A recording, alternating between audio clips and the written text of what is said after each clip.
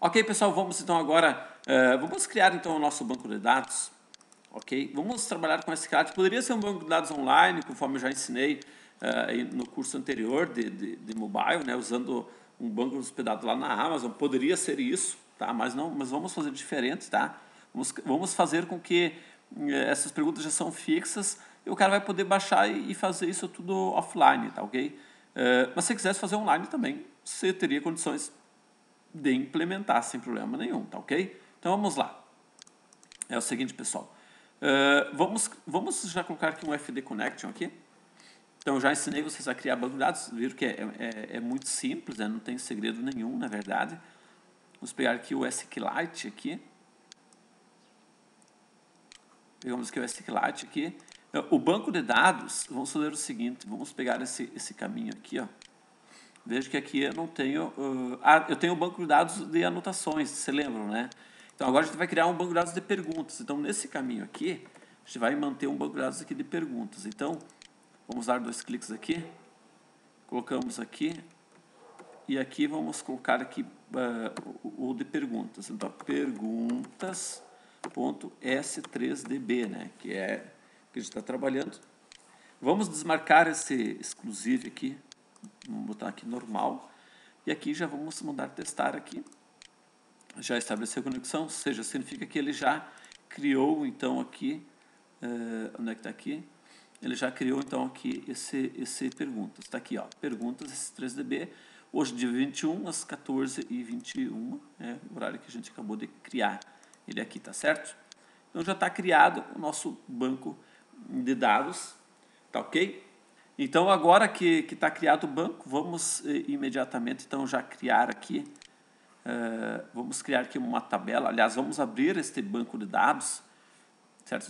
Nós temos que o abrir, pegamos aqui o, abrir aqui o vários, aqui não aparece, vamos dar um asterisco, ponto asterisco, certo? E está aqui o anotações e o perguntas, certo? Está aqui então ele, que nós acabamos de criar. Vamos criar uma tabela aqui, então, aqui chamada então, perguntas, certo? Vamos adicionar os campos. Então, quais, ser, quais seriam os campos que eu vou ter? Eu vou ter o código da pergunta, certo? Que vai ser, então, uma chave e também vai ser autoincremento, ok?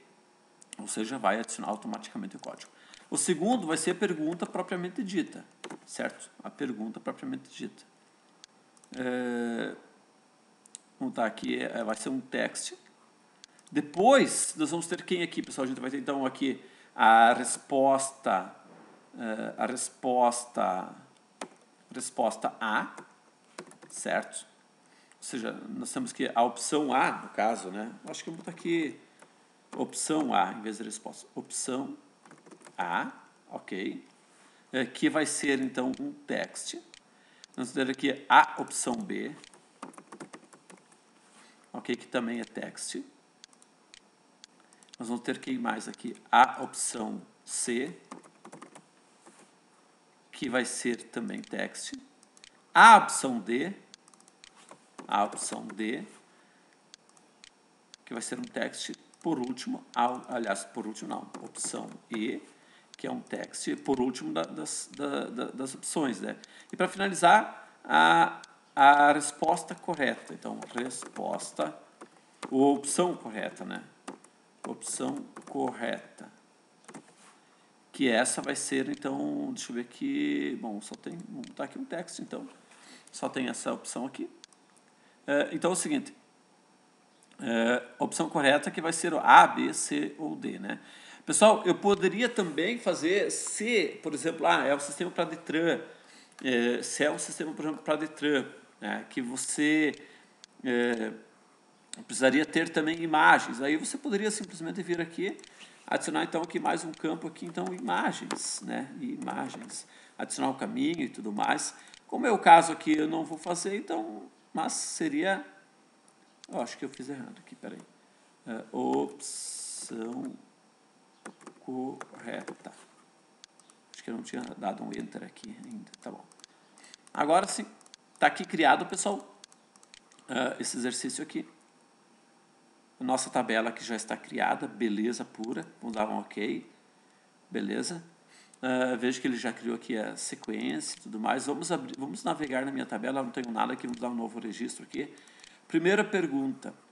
Uh, uh, vou dar aqui, não, aqui, IDE, IDE usada para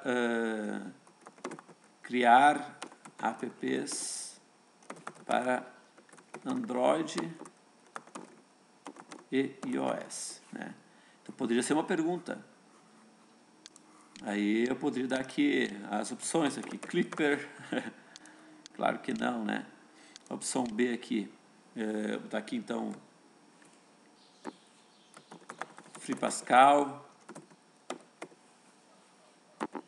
É, bom, essa pergunta aqui está horrível, né? Deixa eu mudar aqui um, uma outra melhor aqui. Qual, uh, qual, uh, sei lá, qual é a extensão, qual a extensão uh, do arquivo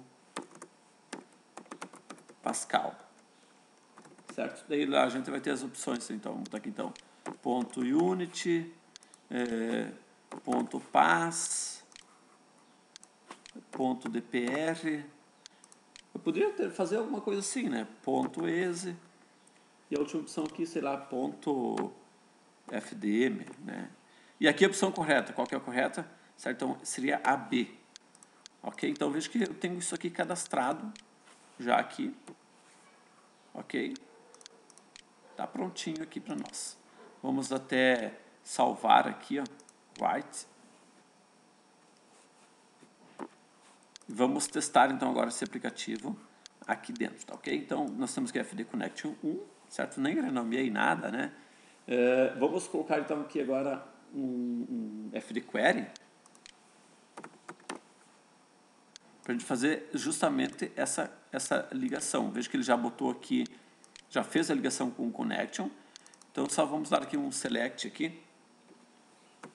Select asterisco from uh, perguntas, acho que é, né?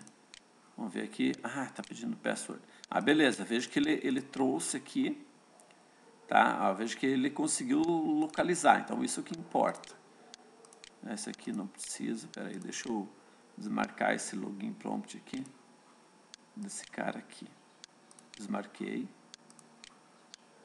Vejo que agora não preciso mais dele. Então aqui eu posso conectar, tranquilo, está conectando. Tá? Ok, beleza pura.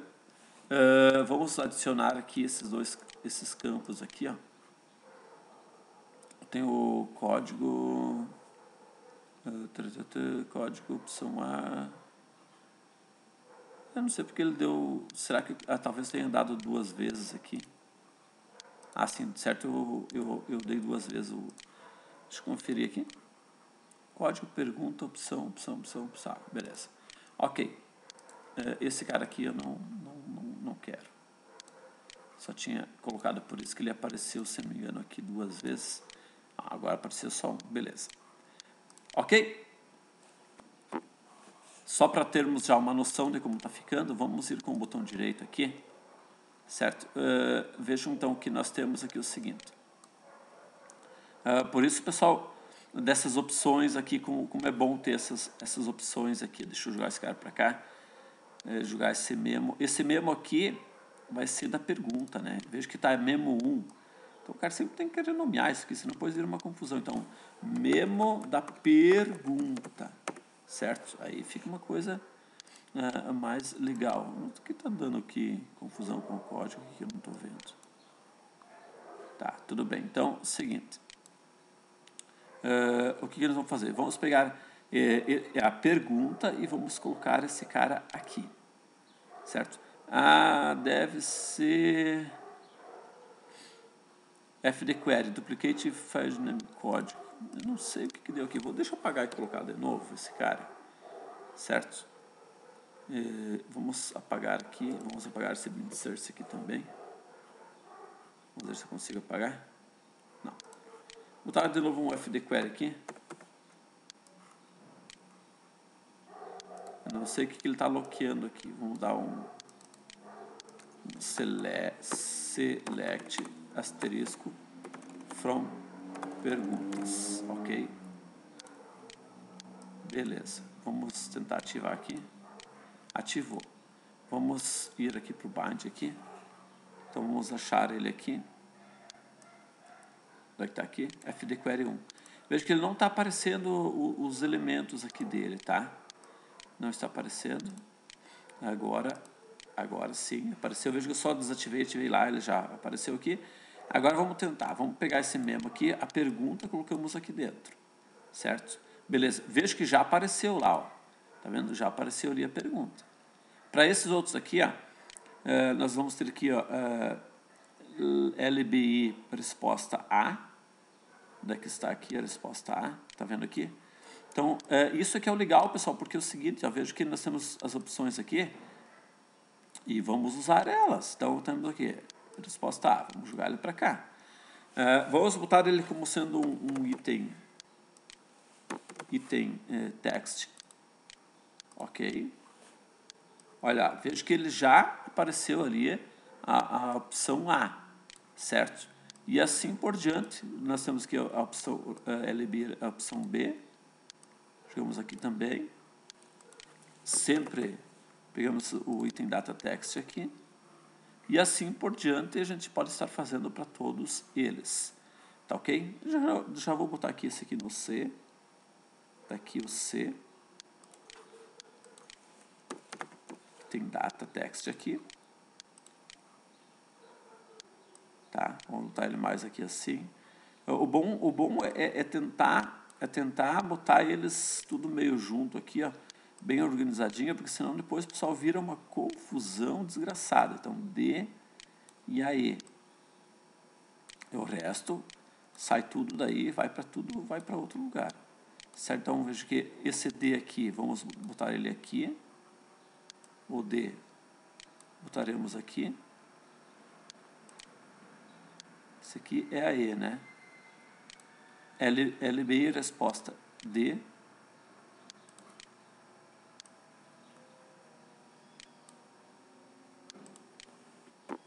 E, ah, agora até eu estou lembrando de uma coisinha aqui, que eu não tinha me antenado. Uh, vejo que aqui nós vamos ter que fazer com que apareça a opção, a opção A, B, C e D. Porque senão como é que ele vai saber que aqui é o A, que aqui é o B, que aqui é o C, que aqui é o D, né? Como, como que ele vai saber isso? Tá ok? Bom, mas tudo isso aqui então vamos continuar na nossa próxima videoaula. Um grande abraço, até mais e tchau.